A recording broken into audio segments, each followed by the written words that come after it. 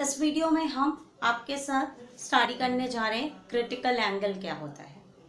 Light में critical angle अगर हम समझ जाएँगे तो उसके बाद नेक्स्ट प्रोसेस जो आएगा वो टोटल इंटरनल रिफ्लेक्शन होगा। तो पहले हम इस वीडियो में आपको बताएँगे what is critical angle total internal reflection है या फ्रैक्शन है एंगल ऑफ़ प्रिज्म है इन सबको देखने के लिए आप प्रोफ़ाइल में फिजिक्स वाले टैगलाइन पे चले जाइएगा वहाँ पर आपको वीडियोस मिल जाएँगे। ठीक है? या क्लास टेंथ का भी जो टैगलाइन है उसके अंदर भी आपको मिल जाएँगे। एनीवे anyway, हम शुरू करते हैं। हमने सारे टॉपिक्स पे वीडियो बनाए आप ढूंढ लीजिएगा। इसके बाद हमने शुरू कर रहे हैं क्रिटिकल एंगल क्रिटिकल एंगल के केस में क्या होता है कि जनरली हम केस लेते हैं कि लाइट एक मीडियम से दूसरे मीडियम में जा रही है। मान लीजिए लाइट एयर से ग्लास में जा रही है एयर से वाटर में जा रही है। यानी एयर क्या है? एक रेयरर मीडियम है, जहाँ पे पार्टिकल्स दूर दूर हैं। और ग्लास क्या है? एक डेंसर मीडियम है, जहाँ पे पार्टिकल्स पास पास है। ठीक है? तो अगर हम केस उल्टा ले लें कि लाइट जो है वो डेंसर मीडियम से रेयरर में जाए, यानी ग्लास से एयर में जाए या वाटर से एयर में जाए, तब क्या होगा? ठीक है? तो उस केस में ही हमको क्रिटिकल एंगल मिलता है।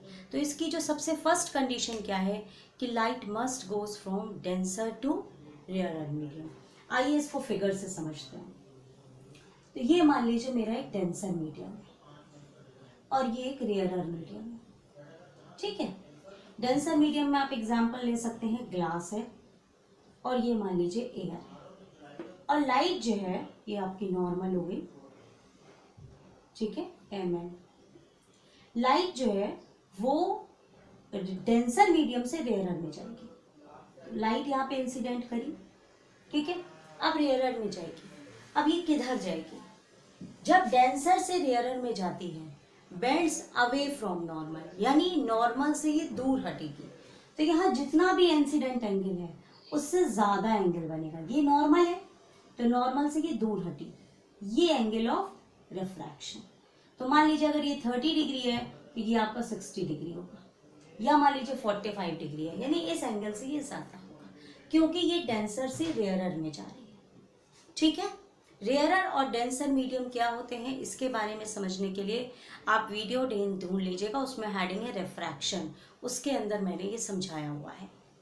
अब ये देखिए लाइट जो है वो डेंसर मीडियम से रेयरर मीडियम में जा रही है। तो ये आपकी हो गई इंसिडेंट लाइट ये कौन सी हो गई? इंसिडेंट रे और ये जो रे आपकी निकली है, ये है रेफ्रैक्टेड रे कौन सी रे है? रेफ्रैक्टेड रे तो इस तरीके से लाइट जब डेंसर से रेयर मीडियम में जाएगी तो वो नॉर्मल से दूर चली जाएगी और इस तरह से रिफ्रैक्ट होगी। अब हम क्या करें? अगर हम इसी इंसिडेंस एंगल को इंक्रीज कर दें, बढ़ा दिया मैंने, इस इंसिडेंस एंगल को हमने बढ़ा दिया। ठीक है, कोई थीटा एंगल पर। और इतना बढ़ाया कि ये जो रिफ्रैक्टेड रे है, ये 90 डिग्री का एंगल बना ले नॉर्मल से। कितना एंगल बना ले? 90 डिग्री का। यानी इतना इंसिडेंस एंगल हो जाए कि जो रिफ्रैक्टेड रे है, वो 90 डिग्री यानी बाउंड्री से जाए। दोनों मीडियम की बाउंड्री से जाए। देखिए, आपका ये बाउंड्री है। आपकी इंसिडेंट रे ये गई। ठीक? और जो रिफ्रैक्टेड रे है वो इस बाउंड्री से चली जाए। यानी इन दोनों के बीच में ये 90 डिग्री का एंगल है। और ये आपकी क्या हो गई? रिफ्रैक्टेड रे ठीक है? और ये आपकी हो गई इंसिडेंट रे तो तब ये जो एंगल ऑफ़ इंसिडेंस होगा, जिसके लिए रिफ्रैक्टेड एंगल 90 डिग्री हो जाए, वो वो इंसिडेंस एंगल जिसके लिए रिफ्रैक्टेड एंगल 90 डिग्री हो जाए, उस इंसिडेंट एंगल को मतलब इस एंगल को हम क्रिटिकल एंगल कहेंगे। ठीक है?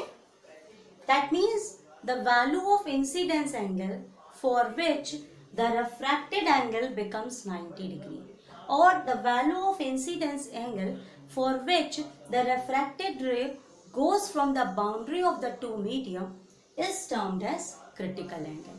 And one thing more, light goes must go from denser to rarer medium.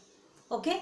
तो वो इंसिडेंस एंगल जिसके लिए रिफ्रैक्टेड एंगल 90 डिग्री हो जाए तो उस रिफ्रैक्टेड रे को नहीं इंसिडेंस एंगल को हम क्रिटिकल एंगल कहते हैं डेफिनेशन देखिए मैंने लिखी है angle of incidence in the denser medium वो एंगल ऑफ़ इंसिडेंस आपका देखिए डेंसर मीडियम में बन रहा है। Angle of incidence in denser medium to which angle of refraction in rare medium is 90 degree is called critical angle और इसको हम रिप्रेजेंट करते हैं आई सी से।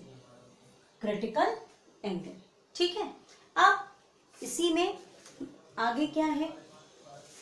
इसका रिफ्रैक्टिव इंडेक्स के साथ डिपेंडेंस या मैथमेटिकली तो हमने पढ़ा refractive index is equal to sine i by sine r ठीक है?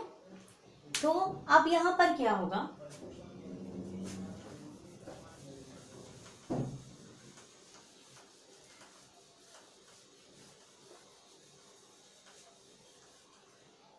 आपका लाइट जो है वो ग्लास से एयर में जा रही है। ठीक है? ग्लास से एयर में। डेंसर टू रेयरर और इंसिडेंस एंगल आपका कितना है? आई सी क्रिटिकल एंगल और रिफ्रैक्टिव एंगल आपका कितना है? 90 डिग्री। क्लियर और साइन 90 की वैल्यू होती है वन। साइन 90 की वैल्यू क्या होती है? One.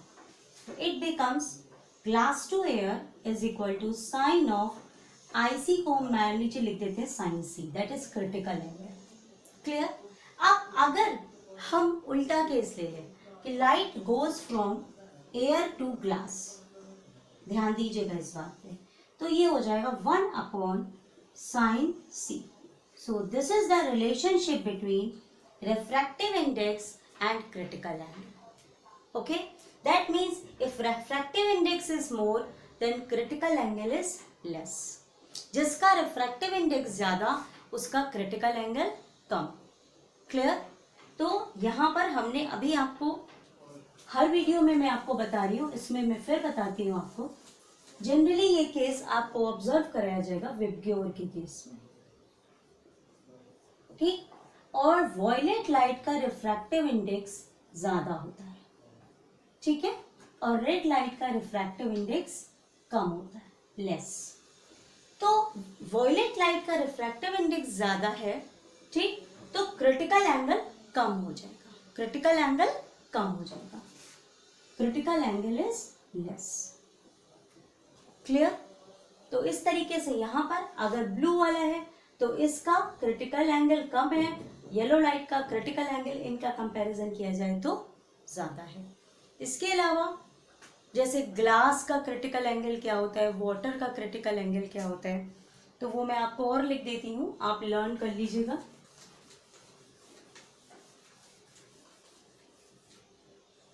Critical angle for glass and for water. ये आप नोट कर लीजिए। ग्लास का क्रिटिकल एंगल आपका है 42 डिग्री और वाटर का है 49 डिग्री। इतना काफ़ी है क्रिटिकल एंगल में ठीक है?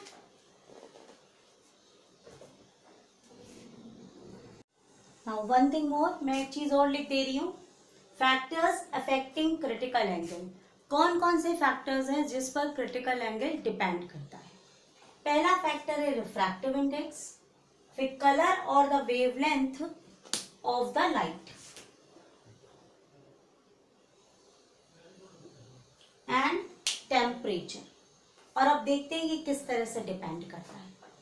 रिफ्रैक्टिव इंडेक्स अगर बढ़ जाता है, ठीक है, ज़्यादा होता है तो क्रिटिकल एंगल कम होता है। तो ये इनवर्सली प्रोपोर्शनल है। यानी if more is the critical angle less is the refractive index ठीक है? जितना ज़्यादा रिफ्रैक्टिव इंडेक्स क्रिटिकल एंगल उतना ही कम। इनवर्सली और जिसकी वेवलेंथ ज़्यादा, ये डायरेक्टली उसका क्रिटिकल एंगल ज़्यादा। जिस, और कलर और वेवलेंथ मैंने क्यों लिखा? जैसे विपग्योर है। वेवलेंथ इधर बढ़ती है। इसकी 4000 नैनोमीटर्स तक होती है, इसकी 7000 होती है। ठीक है? तो वेवलेंथ इधर बढ़ रही है। तो जितनी ज़्यादा वेवलेंथ उतना ज़्यादा critical angle more is the wavelength of the light more is the critical angle colour के हिसाब से देख सकते हैं कि ब्लू कलर जो है, इसका क्रिटिकल एंगल कम है येलो कलर का इससे ज़्यादा है ऑरेंज कलर का ब्लू कलर से ज़्यादा है रेड कलर का क्रिटिकल एंगल ब्लू से ज़्यादा है. तो as we proceed in the VIBGYOR critical angle goes on increasing it is directly proportional to critical angle जैसे जैसे वेवलेंथ बढ़ेगी वैसे वैसे क्रिटिकल एंगल बढ़ेगा. किसी मीडियम का टेम्परेचर अगर हम बढ़ा देते हैं, किसी मीडियम का टेम्परेचर बढ़ाते हैं तो क्रिटिकल एंगल बढ़ता है। So it is also proportional to directly directly proportional ये भी कि अगर टेम्परेचर हम इंक्रीज करते हैं तो क्रिटिकल एंगल बढ़ेगा। तो यानी हर चीज़ से डायरेक्टली प्रोपोर्शनल है, लेकिन रिफ्रैक्टिव इंडेक्स के इन्वर्सली प्रोपोर्शनल है। यानी रिफ्रैक्टिव इंडेक्स अगर घटा तो क्रिटिकल एंगल बढ़ा। ठीक है? इसके बाद मैंने ये फॉर्मूला लिख दिया, इसको अच्छे से याद कर लीजिएगा। Refractive index is equal to reciprocal of the critical angle refractive index is equal to one upon critical angle thank you